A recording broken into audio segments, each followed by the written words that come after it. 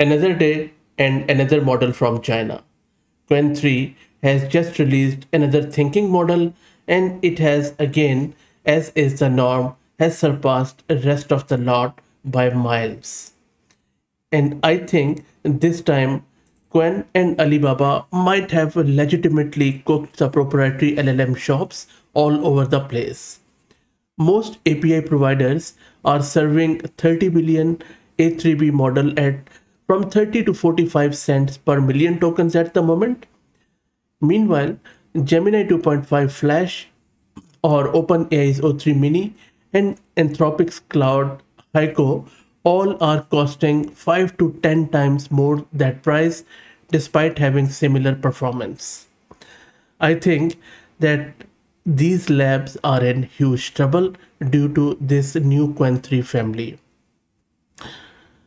I will even go one step further. Qwen team is showing China might have legitimately cooked all of these proprietary LLM shops before even we go to the second quarter of this 2025 and beyond. Google is definitely doing astounding work across the board. OpenAI has already broken the dam open on this whole LLM thing, we all know that. And Nvidia still dominates the hardware middleware landscape. But 2025, as we stand now, I think this story of AI in every aspect is Chinese AI at the moment, and there is no denying it. And I'm not fluffing it or hyping it. This is the reality. Just look at my channel or any other channel, and you will see it's all about Chinese models from various Chinese companies and tooling, and all of them are good. For instance, this new model, Qwen 3 30 billion with thinking, I think this is one of the best, if not the best thinking I have seen in this sub 30 billion model. This new model is again a causal language model designed to excel in complex reasoning tasks. It builds upon the foundational architecture of A3B 30 billion, which we covered yesterday. We installed it locally and we tested it out on various benchmarks and same we are going to do with this thinking model. We are going to test it out. Now, we saw yesterday that this 30 billion mixture of expert model was one of the best and I think the best 30 billion mixture of expert model out there at the moment by any company.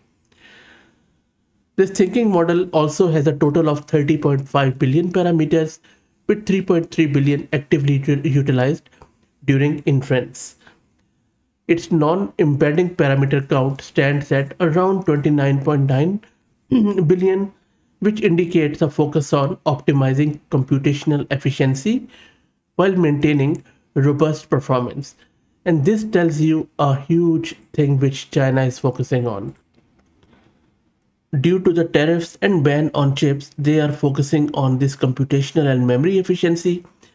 They're still trying to build quality models, yet at the same time, they are trying their best to make sure that models use less resources. This design choice helps balance computational load and attention span effectively. In the mixture of expert layer, they have 128 experts, of which 8 are activated during inference. Now, I already have showed you how to install this model, so if you're looking to install it locally, just follow this video. Exactly the same, just change the model name. I'm going to test it out in Qwen's platform. So at the top left, just select the 30 billion A3 model, switch on the thinking flag, and maybe I will start with this prompt to create a self-contained HTML file using p5.js that features a colorful animated rocket zooming dynamically across the screen. And there are a few other tidbits which I wanted to do. Now I have seen this model thinking for an hour or maybe more. So you see the thinking has started and I'm just going to scroll down. You see it is producing it is understanding it and then it is going through step by step and this model is tailored to support advanced reasoning and general purpose tasks but the deep research ones each of its 48 layers include a transformer block with a gqa attention mechanism where the separation of query heads from key value heads allows for more efficient memory consumption. The model's training process is also shared and it involves both pre-training and both pre uh, post-training phases which contribute to robustness and versatility. While it produces that, let me also tell you a bit more about it. And even before that, let me introduce you to the sponsors of the video who are Eigent. Eigent is the world's first multi-agent workforce desktop application empowering you to build, manage and deploy a custom AI workforce that can turn your most complex workflows in automated tasks. So please do check them out and it is still thinking. I will just let it think and then we will check it out. Meanwhile, let's talk about bit of its benchmarking information. So as you can see that it has already shown superior capabilities compared to other models in its class.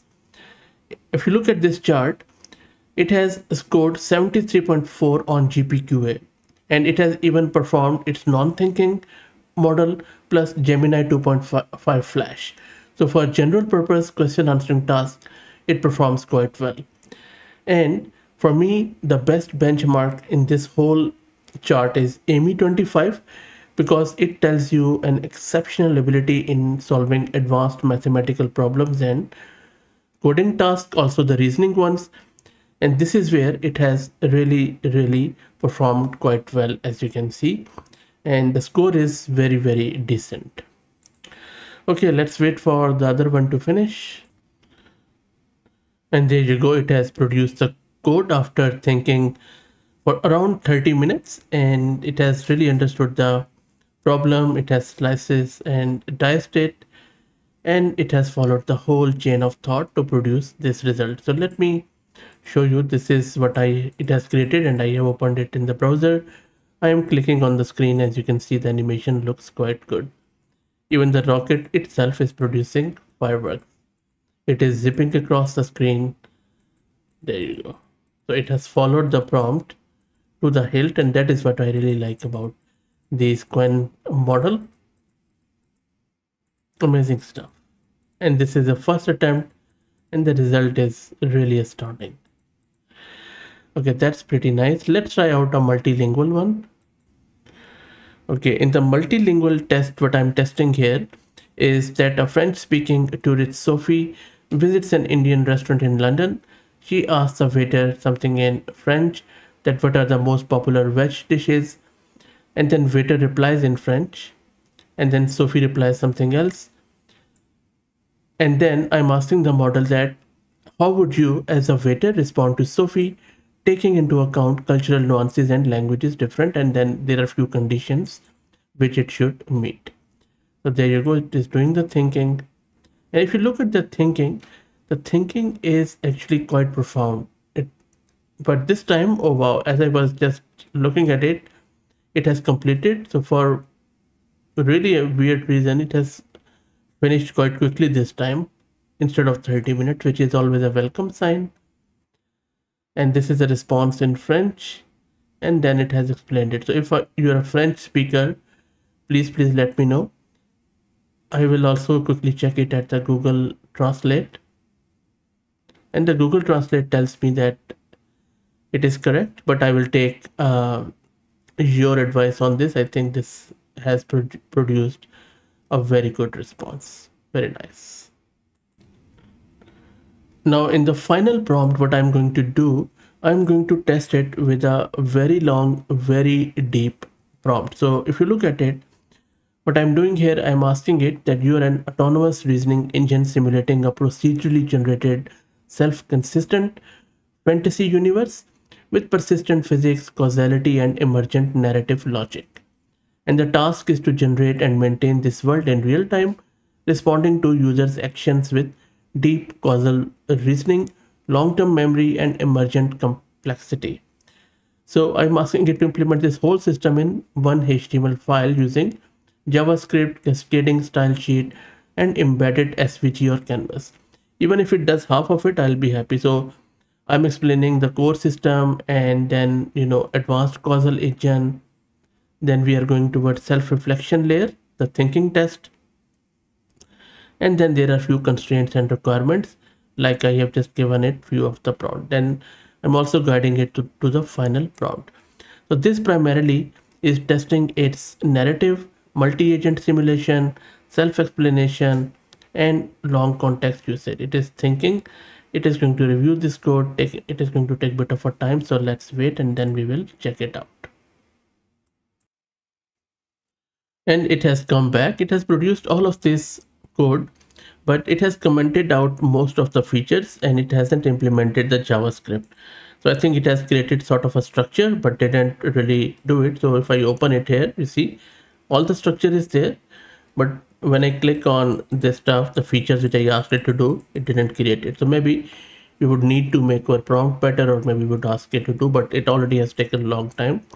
So I'm not going to go into that. We already have checked its coding capabilities are quite good. So I believe in one prompt it might not be able to do a full project as we just saw but it can create a mock and then we can implement different components out of it but look i think Qwen is doing wonderfully well in the last just one week we have seen multitudes of models from them and every model is quite good in its own class lot of uh, room for improvement always there is but i think in open source race Chinese companies are really galloping. Let me know what do you think.